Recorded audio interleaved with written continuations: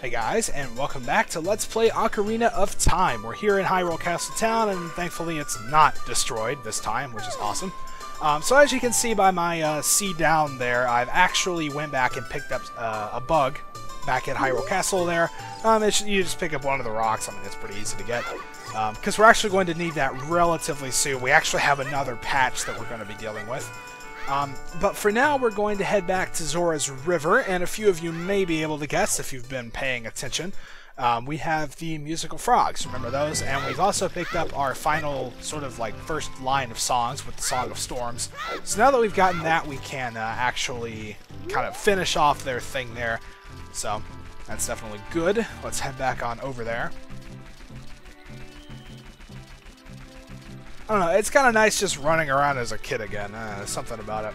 Uh, you, you, think after all that time, you know, you get to become an adult, you get all these new fancy toys available to you. It's like, ooh, I want to be that all the time. But oh, come on, what are you doing? But I don't know. For some reason, I just like running around as a kid. I, I, guess because the world isn't like completely destroyed, you know, sort of thing. I, I kind of feel like it's my fault, so I, I like having the escape from it. But whatever. I, I don't even know what I'm talking about anymore. So we're here at Zora's River. Um, I guess we can pick up some of this stuff if we want. I don't really want to. Refilled my magic, though, so that's nice. And there's the crazy magic bean guy who we don't need anything from. So let's head back on over. And if you don't remember, the musical frogs are um, right around here, just upstream a little bit. So let's jump across here and back onto land, and almost get hit by the blue Tektite. Oh, well, no, it didn't that time. Okay, well, that's nice. Okay, so let's jump on over onto the log, and... Yep, frogs are looking up at me, I know. Uh, so let's get our ocarina back out, and play them some songs. Or a song, I guess. So we play in the Song of Storms, and even though there's no frog that needs to be growing bigger, uh, they're still going to talk to me here. Wow, that melody is so cool, Ribbit!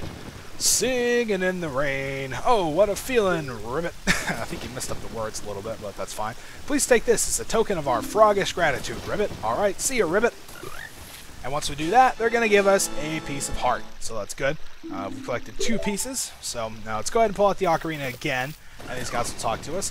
Look at us. We're all huge frogs. We are the world famous, fabulous five froggish tenors. Ribbit. Make us jump so we can eat the bugs flying above us. Ribbit. Okay, then ready, set, go. Yep, so we have kind of a mini game here that's actually quite difficult um, if you don't really know like what the things are. Um, basically, a good thing to keep in mind here is you will never use C up and the pattern is always the same, so if you want to just memorize it, that's probably the best way to go. I do have it sort of written out here for me, so let's do it. Um, it's A, left, right, down, left, right, down, A, down, A, down, right, left, A. You would kind of just have to figure out what each one of the frogs sort of uh, correspond to as far as notes are concerned uh, in order to hit the butterfly above them, but you got to be really fast, so it's probably easiest to just memorize it. But um, all right, so they're going to give us another token of their froggish gratitude, and we get another piece of heart from them, so oh, that's nice. I don't know why they didn't just give me both to begin with, but that's fine, whatever. Okay, so now that we've done that, we're done here um, around the Lake Hylia area. So as you can see, we're going to be warping back to Death Mountain Crater. This time we don't have the Goron Tunic, so there will be a time limit again. Uh, but since we have a few more hearts, it's actually going to be a little bit longer. Um, I think it is actually based on like the number of hearts you have whenever you go in. So, yeah, yeah, we can't stay in here long. That's okay, because we won't be in here for long. Uh, as you can see, we got a minute 36, so that's plenty of time to do what we need to do. Uh, so let's get the bugs out. We're actually going to need them because there's a patch right here. I also probably want to go ahead and get out the beans so I don't forget. Um, so let's go ahead and put the bugs in the patch here. We haven't done this one yet because we were kind of limited in where we explored uh, Death Mountain Crater before. So let's just let them do their thing. Alright, dude, come on. I don't have all day. There we go. Kill it and take its token. And that should be number 58. 57. Oh, that's not good. Alright, well, now I'll figure all that out off, off screen. Oh, the first time that's happened, huh? Wow, what do you know? Alright, so let's go ahead and uh, plant the bean. And take care of that. Now, there's also something else we can do. If we play the Song of Storms while standing next to this thing, uh, something kind of cool is going to happen. At least it should. It, it normally does. I don't know why it didn't this time, but it did when I was playing it last time. Um, Alright, well anyway, let's get out of... Uh, let's not get out the bottles yet, because this thing hasn't worked out. I don't know why this isn't working. Let's try it again. Wow. Okay, that's kind of weird. Because um, when I was playing it in practice, I kind of remember doing that as a kid. Um, if you play the Song of Storms next to where you kind of like plant the bean, um, it'll cause it to sort of grow up. And I'm going to try it one more time because I swear, it, it, I know it worked. I mean, I remember seeing it work. But, oh well, I guess it just doesn't want to. But, uh, yeah, whenever I played the Song of Storms next to this thing, it would kind of grow up and then three fairies popped out, which I was able to fill my empty bottles with.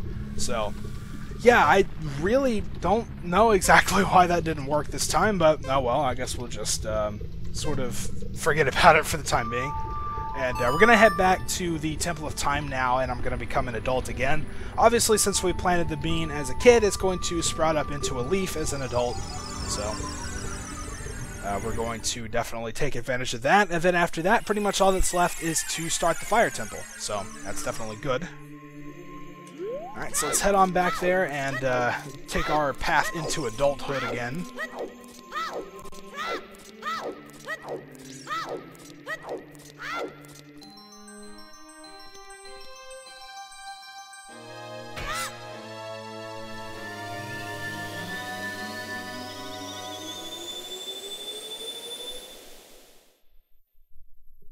Awesome. I love that animation. That's always so cool. But anyway, now that we're here, we can pretty much just warp straight to uh, the Death Mountain crater, which is good. Doesn't it make this so much quicker to have all these warp songs, you know? Before we had to walk back and forth, and I guess it doesn't make it too much quicker for you because I, you know, generally cut out trips. But, well, it makes it quicker for me, so at least I notice it. But, Okay, so we are uh, back here in Death Mountain Crater. We've got a uh, leaf we can take here, of course. So let's take it up, and it's going to sort of take us around here, and as you can see, there's a piece of heart on this little mountain, and it makes the screen completely black when you get it, which is great. And uh, we've now completed another heart container, so our maximum life energy is increased to 13. Alright, and uh, now we want to head back down. As you can see, the leaf is still kind of flying around. We actually want to get back on it. No, I don't think I'd take damage from that. And uh, sort of actually ride it around a little bit more this time. So let's just keep going. It's going to circle around and take us over here to this side. And uh, now we can actually climb down. This is, I believe... Uh, yeah, see, right up there is where we entered if we would have climbed Death Mountain itself. So, uh, that's good. If we head on over the side we can see that this wall is actually climbable. So let's get down here, this little alcove, and if you do this right, you can just drop down, like that, and uh, grab it, and there's yet another piece of heart in here, so we picked up four of them, I think, um, in this episode, so, well, that's good. But, um, alright, so let's head on back, and I also remember um, exactly which Skulltula I missed. I kind of uh, went a little quickly in Goron Village, and there's actually one, or Goron City, or whatever it's called, and there's actually one in there. So that's what we're going to do. Um, it might be quicker to just warp back. Um, in fact, yeah, actually, I'm going to do that. Because Death Mountain Crater is kind of divided into two little sections, and using the magic bean brought me from one to the other, so the quickest way to get back is probably just to warp.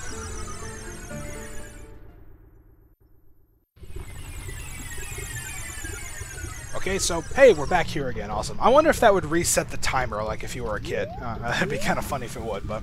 Um, Alright, so we actually need to head back over here. There's a nice, quick entrance back into Goron City, which is good. Um, and we can hookshot onto this and sort of use that as a ladder, or you can just grab onto the edge. That works, too. Uh, but this will bring us back out into Goron City, and where I can pick up the Skulltula that I missed. So let's do it. Alright, yeah, we're going to have to climb up uh, quite a bit because it's up on the uh, the pedestal. Remember where they put the Goron's Ruby, or at least where it's supposed to go. I don't think we've ever actually seen it there. But um, it's way up there. It's kind of suspended by ropes in the ceiling. Uh, of course, you'll know once we get to it. But um, So let's go up and see if we can do that.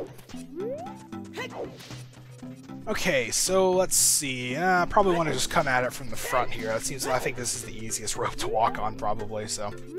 Whoa, holy crap. yep, so if you fall off, you're obviously gonna have to walk all the way back up, like I'm gonna have to do now. So that's great fun. Alright, try number two, and we made it this time. So you can definitely hear and somewhat see the Skulltula kind of, uh, yep, there it is. Uh, you can see it kind of scratching around back there, so we're going to uh, have to take it out. But the collecting it is going to be the hard part, because we can't jump over this, as you can see. So uh, we're going to have to sort of come out on this rope, or just fall off. That's also fun. Alright, uh, try number two again. Uh, we're going to have to come out onto this rope and sort of get far enough along that we can grab the token with our hook shot.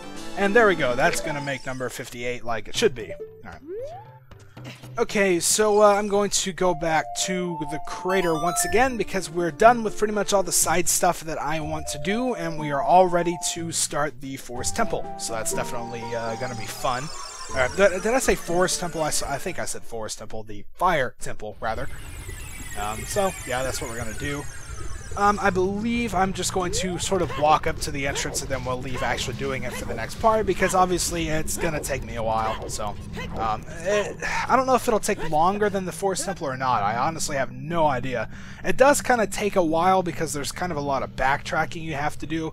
Um, structurally speaking, it's probably smaller than the Forest Temple, but um, it definitely will take an equal amount of time. More or less, I have no idea, but yeah, there it is. That's actually, that does kind of look like the inside of the Fire Temple, but um, that's the entrance right there. So I'm going to end the video here. Next time we are going to head on in and uh, see if we can't wake up the Fire Sage and save Goron Village, all its people, and Death Mountain in general. So, uh, yeah, like wipe off the sweat there. I bet it's hot in here.